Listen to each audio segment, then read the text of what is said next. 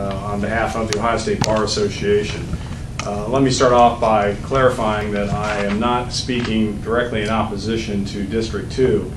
Instead, I want to explain to you why the Ohio State Bar Association has taken a position in opposition to Issue 2. Uh, Many of the things Alice just mentioned, I don't think we have any disagreement with.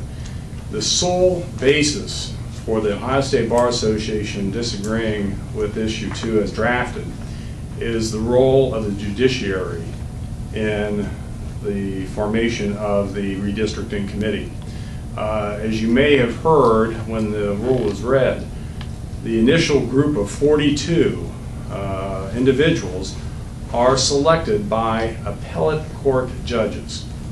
Uh, Right now, the way the issue two is drafted, the Supreme, the Chief Justice of the Supreme Court appoints eight appellate judges. And of those appellate judges, four are Republican, four are Democrat. Those appellate judges then vet and select the 42 members of the commission.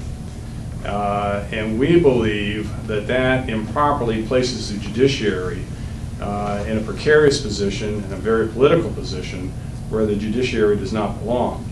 Uh, The Ohio State Bar believes that the judiciary needs to be independent, that the judiciary needs to remain high in the public uh, confidence, and that in this highly, highly political issue of redistricting, which totally, Alice, we agree with, is is, uh, probably one of the most political issues right now, we maintain that it is improper for the judiciary to be involved in that process. So that is the sole reason uh, for the objection of the Ohio State Bar Association. We are not taking, and we are not affiliating with any group. This is not a Republican stance, it's not a Democrat stance, it is not aligning ourselves with any organization. The Ohio State Bar is strictly independently, in and of itself, uh, taking this position, again, due to the role of judiciary. Uh, There have been two recent developments that I did want to bring to your attention, many of which you may know.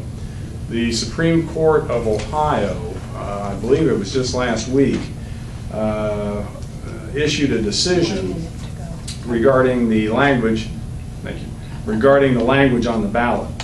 The language on the ballot uh, for issue two initially did not mention anything about the role of the appellate judges.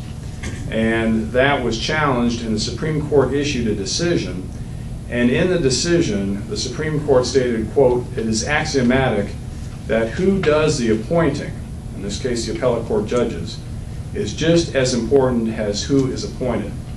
Uh, So now, my understanding is the entire language contained in issue two will be on the ballot and not just portions of it.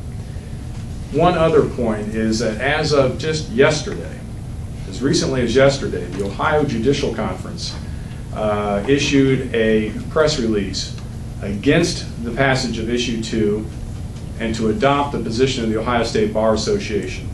So the Ohio Judicial Conference likewise has taken the position of the Ohio State Bar Association in objecting solely to the involvement of the judiciary in this legislative process.